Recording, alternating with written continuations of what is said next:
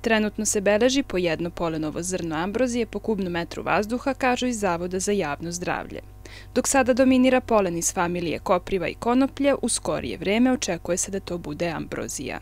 Treba imati u vidu da na oslobađanje polena utiče i vreme, te velika vlažnost, odnosno padavine, otežavaju emisiju, kažu stručnjaci. U prethodnoj sedmici smo imali i u subotu i u nedelju po jedno polenovo zrno po kubnom metru vazduha. Ako se zna da od, e, e, u, nekoj, u nekoj skali od 1 do 10 polenovih zrna po kubnom metru vazduha mogu da budu ovaj, koncentracije koje izazivaju tegobe kod veoma osetljivih osoba, treba ih i upozoriti da sada nastupa u stvari period kada ovaj, se postepeno i povećava koncentracija polenovih zrna ambrozije, a i e, meri, merit će se svakodnevno. Za sada e, je period kada dominira e, u vazduhu polen iz familije kopriva, On ne spada u jake alergene, ali ga ima i e, takođe cvetaju i biljke iz familije konoplje. Ukoliko su pak vremenske prilike pogodne, polenovo zrno ambrozije može da se raznese i preko stotinu kilometara, a najkritičniji period predstavlja poslednja nedelja avgusta i prva nedelja septembra, objašnjavaju stručnjaci.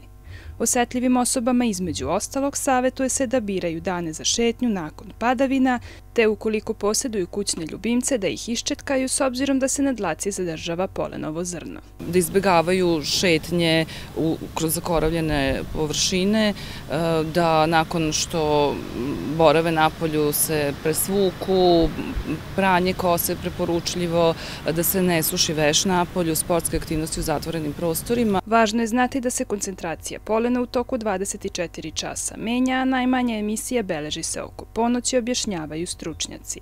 Na sajtu Zavoda, kao i grada, nalaze se podaci za trenutnu situaciju kada je u pitanju cvetanje, odnosno praćanje alergenih vrsta i koncentracije polena u vazduhu.